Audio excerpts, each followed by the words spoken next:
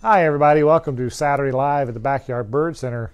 Kind of, kind of continuing with a theme I've done uh, sporadically throughout the past year uh, because people always want to know, Mark, what's your favorite hummingbird feeder? I've done my favorite hopper feeder, I've done my favorite uh, finch feeder, and it since the hummingbird sightings, we had I know at least three different people this morning who said I had a hummingbird this morning, had a hummingbird this morning. So the hummingbirds are starting to roll in. The winds are shifting out to south, and so we're starting to see those. So uh, if you've been in here and talked to me, and I've sold you a hummingbird feeder, you know what my favorite types are. But for those of you who haven't, um, Mark's favorite hummingbird feeder. All right. No secret that I prefer what we call the saucer types of hummingbird feeders. Uh, we have bottle types and saucer types. I much prefer the saucer types. Why? Okay. Several different reasons. But whenever, let's just hang this here, so for comparison, in a bottle type of hummingbird feeder, all the nectar is in here and it's pulled down here to these, these ports right here. And the nectar is always right there at those ports. Well, the hummingbird, who has that very long tongue that can reach really far, doesn't need that nectar to be right there at the tip of the flower, but bees do. So, one of my favorite things about a saucer type feeder is that the nectar, you can fill it only about a quarter full or even half full, and the port keeps the, hum- the, the hummingbird distance is fine because his tongue is so long, but a bee can't reach his proboscis down there, which is great. So that's one anti bee or you know, the, the, I really like the saucer types over these. Uh, volume in our area. Now you may live in a completely different area where you have tons of hummingbirds, but we don't. And uh, up here in the Kansas City area, uh, this is far more nectar than you're going to use in an average two-day period in which you know you should change that hummingbird nectar every every two days or so. So if I had this hummingbird feeder hanging at my house, I probably would only put that much nectar in it. Whereas the saucer types don't hold as much, so I'm not throwing as much away. So right away, that you know, it, economically, it's a, a more uh, economical thing to do. So. The other part of saucer types that is so appealing to me is they are super easy to clean. Top shelf dishwasher safe, the aspects are, but even even that, you don't even need it. You got they're very easy to clean out. You can just run a little. Uh, even this company, the, the, aspects even includes a little uh, bottle brush clean where you can just rub it down in there to make sure that because that's the only place that's going to be even half. What's that? Only. Right.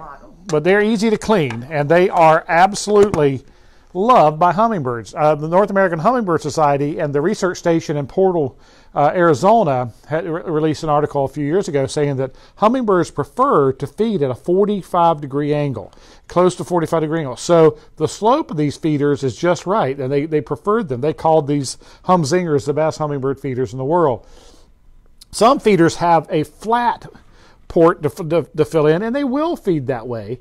And they also, but they they do like a little bit of an angle. So another reason I think they're they're very very well built. Um, these feeders are made in the USA. These feeders are lifetime warranted. That if they ever leak, you know we can replace the bowls. We can replace the that that is absolutely a, a good thing. Now, perches. A question that I get asked a lot. These these hummingbird feeders do have perches. And the question is always, well, uh, you know, I, that feeder over there doesn't have a perch on it. Well, my answer to that has always been, do you ever see perches on flowers in the wild? Mother Nature doesn't provide perches for hummingbirds when they're feeding on tubular flowers that they like in the wild. Um, the, the perches on a hummingbird feeder are for your convenience more for, than for them. Now, that, you know, a male will use those perches to guard that hummingbird feeder. You know, I've done other videos about their mating system, how one male will dominate a feeder and, and chase the females away and, and court with them and, and breed with them. Where that a perch on a hummingbird feeder, yes, he can sit there and rest and you get to see him, but he really doesn't need that. Uh, so if a hummingbird feeder doesn't have a perch on it, don't worry about that. If you like the other ones, and that's the other part of this. These are my favorite hummingbird feeders. One of the my favorite uh, arguments I heard in the store one day was between a mother and a daughter about hummingbird feeders. One liked the bottle type, and the one liked the, the saucer type. and one lived out east of Kansas City, one lived here in, in the Kansas City area, and they were going back and forth about, well, I've tried those kind of hummingbird feeders in my yard, and the hummingbirds won't use them. And the mother was like, well, I've tried that kind of hummingbird feeder, and the hummingbirds won't use them. I can't explain that. Um, I do know that birds are creatures of habit, and they do like what they like. So if they if a hummingbird's been used to coming to a saucer type feeder and you switch it to a bottle type, sometimes you have trouble with that. Now, I've had both in my yard. I've had bottle feeders out and saucer feeders at the same time, and they feed from both of them.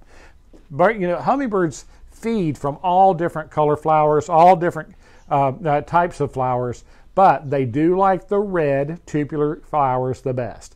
Um, and of course, people ask, oh, does the nectar need to be red? No, I've never seen a hummingbird fly up to a feeder and put his eye to the hole to look inside to see what color the nectar is. They have no idea. As long as the feeder is red or the, per- uh, the port is red, they'll feed from a blue flower and other flowers as well. But one of the reasons why hummingbirds is that, that, that, scientists say that hummingbirds like red colors and orange colors is because bees tend to stay away from those flowers. They they tend not to nectar on those flowers, and though the hum, so the hummingbirds have those more to themselves than, than other flowers that the bees have already gotten a lot of the pollen out of. So, my favorite hummingbird feeders are the saucer types. And especially the aspects. I, you know, I, I'm partial to that company because of their lifetime warranty and they're made in the USA. So, um, you may have a different hummingbird feeder you like. Feel free to comment down below and, and uh, let us know what you like the best. Uh, let us know when you see your first hummingbirds. Like I said, they're on the way. The southern wind's coming, so they're going to be really coming in this week. So,